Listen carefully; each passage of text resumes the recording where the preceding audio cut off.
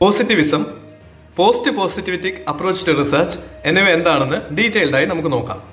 എന്നാൽ ആ ഭാഗങ്ങൾ മനസ്സിലാക്കുന്നതിന് മുമ്പായി പാരഡിയം എന്താണ്? അതുമായിട്ട് ബന്ധപ്പെട്ട കുറച്ച് റിലേറ്റഡ് ആയിട്ടുള്ള ടേംസ് നിങ്ങൾ അറിഞ്ഞിരിക്കേണ്ടത് ആവശ്യമാണ്. ഒന്ന് രണ്ട് മിനിറ്റിൽ നമുക്ക് അതൊന്ന് ഡിസ്കസ് ചെയ്ത് ജസ്റ്റ് ഒന്ന് വിസിറ്റ് ചെയ്തിട്ട് പോവാം. ഐ പ്ലസ് ട്രെയിനിങ് സൊല്യൂഷനിലേക്ക് സ്വാഗതം.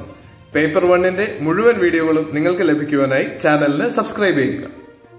പാരഡിയം എന്താണ്? In science and philosophy a paradigm is a distinct set of concepts or thought patterns including theories research methods postulates and standards for what constitutes legitimate contributions to a field ഒരു ഫീൽഡിലേക്ക് എങ്ങനെ ആയിരിക്കണം വിവരം acquire ചെയ്യുന്നത് എന്ന് പറയുന്നതാണ് പാരഡിയം ഒരു പ്രത്യേക വീക്ഷണകോണെന്ന് വേണമെങ്കിൽ മലയാളത്തിൽ പറയാം. നമ്മൾ ഒരു കാര്യത്തെ എങ്ങനെ കാണുന്നു? അവിടെ ലെജിറ്റിമേറ്റ് ആയിട്ടുള്ള കോൺട്രിബ്യൂഷൻസ് എങ്ങനെയാണെന്ന് ആ ഒരു ഫീൽഡിൽ പരക്കെ അംഗീകരിക്കപ്പെടുന്നു. ആ കാര്യത്തെയാണ് പാരഡിയം എന്ന് പറയുന്നത്. സയൻസിലും ഫിലോസഫിയിലുമാണ് ഈ ടേം ഈ മീനിങ്ങിൽ യൂസ് ചെയ്യുന്നതെന്നും നമുക്ക് ഓർക്കാം.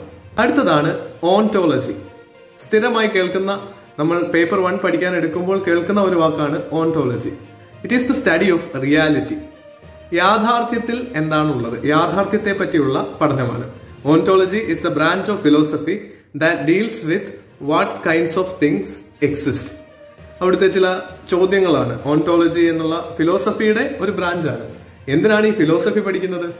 നിങ്ങൾ ജെ ആർ എഫ് ഒക്കെ ക്വാളിഫൈഡ് ആയി കഴിഞ്ഞ് പി എച്ച് ഡി എടുക്കുമ്പോൾ എന്താ P H D doctor of ഫിലോസഫിയാണ് chemistry പഠിച്ച ആളും ഫിസിക്സ് പഠിച്ച ആളും കൊമേഴ്സ് പഠിച്ച ആളും എല്ലാവരും പി എച്ച് ഡി എടുക്കുന്നത് ഡോക്ടർ ഓഫ് ഫിലോസഫി എന്നുള്ള ഒരു ഡിഗ്രിയിലേക്ക് പോകുവാൻ വേണ്ടിയിട്ടാണ്. അപ്പോൾ ഫിലോസഫി എല്ലാ സയൻസുകളുടെയും ഉള്ളിൽ അടങ്ങിയിരിക്കുന്ന റിസർച്ചിന്റെ ഒരു അടിസ്ഥാനമാണ്. അതുകൊണ്ടാണ് നമ്മൾ ഈ ഫിലോസഫിയിലേക്കും ഒന്ന് എത്തി നോക്കുന്നത്. ഈ ഓണ്ടോളജിയിൽ ഡിസ്കസ് ചെയ്യുന്ന ചോദ്യങ്ങൾ.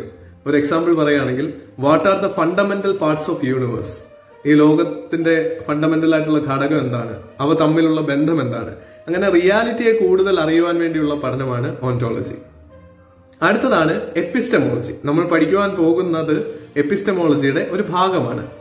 It is the study of knowledge ഇനി നോളജ് എന്താണ്? Knowledge is justified true belief നമുക്ക് ജസ്റ്റിഫൈ ചെയ്യാൻ സാധിക്കുന്ന ശരിയായിട്ടുള്ള ആ വ്യക്തി വിശ്വസിക്കുന്ന ഒരു കാര്യം അതെന്താണോ അതാണ് നോളജ് എപ്പിസ്റ്റമോളജി അറിവിനെ പറ്റിയുള്ള പഠനമാണ്. അവിടെയുള്ള ചോദ്യങ്ങൾ എന്താ? വാട്ട് ഡസ് നോളജ് മീൻ എന്താണ് അറിവ്? ഒരാൾ എങ്ങനെയാണ് ഒരു കാര്യം അറിയുന്നത്? What is the basis of true knowledge ശരിയായിട്ടുള്ള അറിവിന്റെ അടിസ്ഥാനം എന്താണ്? ഇത്തരം ചോദ്യങ്ങളാണ് എപ്പിസ്റ്റമോളജി എന്നുള്ള ഫിലോസഫിക്കൽ സൈഡിൽ ഡിസ്കസ് ചെയ്യുന്നത്. നമ്മൾ പഠിക്കാൻ പോകുന്ന പോസിറ്റിവിസം അല്ലെങ്കിൽ പോസ്റ്റ് പോസിറ്റിവിസം പോസിറ്റിവിസം കഴിഞ്ഞ് അതിന് എതിരെ ഉണ്ടായ ഒരു അപ്രോച്ചാണ് പോസ്റ്റ് പോസിറ്റിവിസം നമ്മൾ പറയുമ്പോൾ ആ വേർഡ് മീനിങ് നോക്കിയിട്ട് തന്നെ അതിന്റെ മീനിങ് കണ്ടെത്താം അല്ലെ? പ്രീഫിക്സ് പോസ്റ്റ് ഫിക്സ് എന്ന് പറയുന്ന പോലെ പോസ്റ്റ് പോസിറ്റിവിസം എന്നുള്ളത് പോസിറ്റിവിസത്തിന് ശേഷം അതിന് ബദലായിട്ട് അതിനെതിരായിട്ടുണ്ടായ ഒരു അപ്രോച്ചാണ് ഇനി ഈ പോസിറ്റിവിസം എന്താണെന്ന് നമുക്ക് നോക്കാം. The modern approach was formulated by philosopher Auguste Comte in the early nineteenth century ആയിരത്തി എണ്ണൂറുകളിലാണ് അഗസ്റ്റെ കോംതെ ഈ വേർഡ് ഇൻട്രൊഡ്യൂസ് ചെയ്തത്. എന്നാൽ അതിനു മുൻപേ ഈ കൺസെപ്റ്റ് നിലനിന്നിരുന്നു. പഴയ പുരാണ കാലത്തെ പഴയ കാലങ്ങളിലെ തത്വചിന്തകന്മാർ ഉപയോഗിച്ചിരുന്ന അപ്രോച്ചാണ് എങ്കിലും ആധുനിക യുഗത്തിൽ ഇതിന് ഈ പേര് നൽകിയത് അഗസ്റ്റെ കോംതെ ആണെന്ന് ഓർക്കാം. Positivism is a philosophical theory stating that knowledge is based on natural phenomena and their properties and relations. Positivism is based on empiricism. ഈ പറയുന്ന രണ്ട് കാര്യങ്ങളും ഒന്ന് തന്നെയാണ് ഉദ്ദേശിക്കുന്നത് ഫിസിക്കൽ ആയിട്ടുള്ള നമ്മുടെ സെൻസറി ഓർഗൻസ് ഉപയോഗിച്ച് കിട്ടുന്ന അറിവ് മാത്രമാണ് വാലിഡ് നോളജ് നാച്ചുറൽ ആയിട്ട് നമുക്ക് കാണാൻ പറ്റുന്ന ഫിനോമിനൻസ് മാത്രമാണ് അറിവ് എന്നുള്ളതിലേക്ക് നോളജ് എന്നുള്ളതിലേക്ക് കോൺട്രിബ്യൂട്ട് ചെയ്യുന്നതെന്നാണ് പോസിറ്റിവിസം പറയുന്നത് ഈ റിസർച്ച് മെത്തേഡ്സിൽ ട്രൂ ആയിട്ടുള്ള ശരിയായ നോളജായി കൺസിഡർ ചെയ്യുന്നത് ഫിസിക്കലായി കാണുവാനും സ്പർശിക്കുവാനും രുചിക്കുവാനും കേൾക്കുവാനും സാധിക്കുന്ന നാച്ചുറൽ ഫിനോമിനൻസിനെ മാത്രമായിരിക്കുമെന്ന് നമുക്ക് മനസ്സിലാക്കാം. എംപിരിസിസം എന്ന് പറയുന്നത് verified data received from the senses അതിനെ മാത്രം ബേസ് ചെയ്തുള്ള ഫിലോസഫിയാണ് എംപിരിസിസം എന്ന് പറയുന്നത്.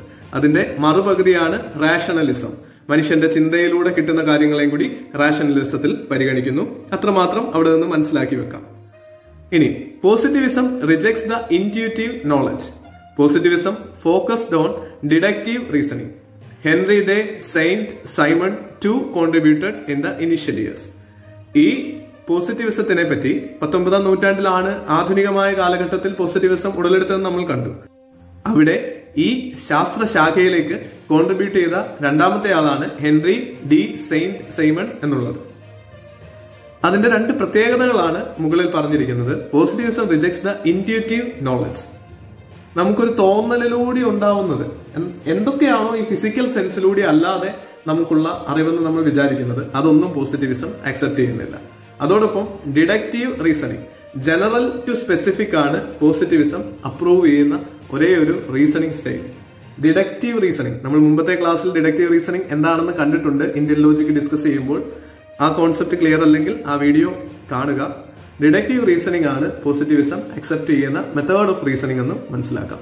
ചുരുക്കി പറഞ്ഞാൽ as per this philosophy knowledge is simply what we experience knowledge is based on natural phenomena and knowledge is quantitative in nature ഇത് ക്വാളിറ്റേറ്റീവ് അല്ല knowledge ക്വാണ്ടിറ്റേറ്റീവായി മാത്രമാണ്. നമ്മൾ അറിയുന്ന കാര്യങ്ങളെ മെഷറബിൾ ആയിട്ടുള്ള കാര്യങ്ങളെയാണ് പോസിറ്റിവിസത്തിൽ ഫോക്കസ് ചെയ്യുന്നത്. ഇത്തരം കാര്യങ്ങൾ പരിഗണിച്ചുകൊണ്ടുള്ള റിസർച്ച് ആക്ടിവിറ്റിയാണ് പോസിറ്റിവിസം റിസർച്ചിലേക്ക് വരുമ്പോൾ നാം ചെയ്യുന്നത്. എന്നാൽ ഇപ്പോഴത്തെ കാലത്ത് നമ്മൾ ചെയ്യുന്നത് പോസ്റ്റ് പോസിറ്റിവിസം എന്നുള്ള കാലഘട്ടത്തിലാണ്. Post positivism approach to research ആണ് നമ്മുടെ ഇടയിൽ ഈ കാലഘട്ടത്തിൽ സംഭവിക്കുന്നത്. Post positivism philosophy rejects the ideas of positivism.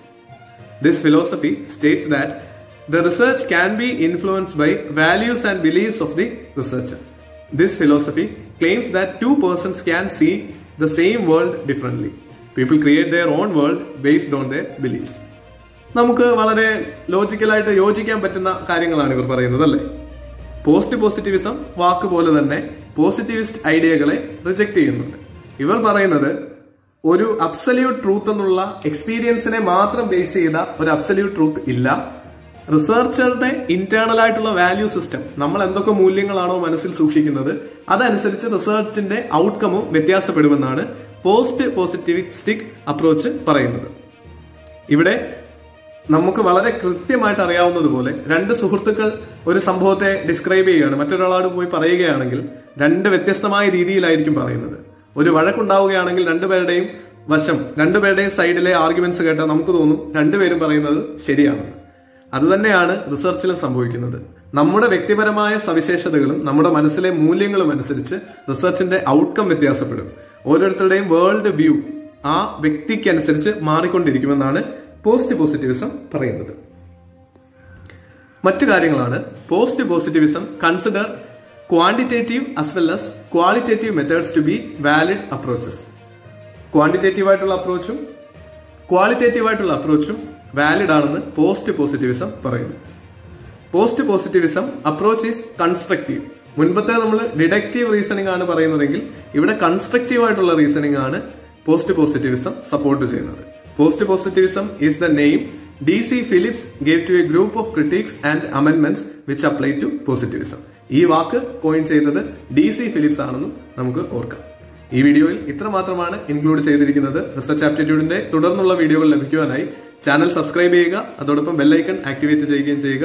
Paper one പൂർണമായും എക്സാമിന് മുൻപായിട്ട് തീർക്കുവാനുള്ള പരിശ്രമത്തിലാണ് നിങ്ങൾക്ക് ഈ ചാനൽ ഈ വീഡിയോ ഇഷ്ടമായെങ്കിൽ ലൈക്ക് ചെയ്യുക അതോടൊപ്പം സുഹൃത്തുക്കളിലേക്ക് ഷെയർ ചെയ്ത് സപ്പോർട്ട് ചെയ്യുകയും ചെയ്യുക. താങ്ക്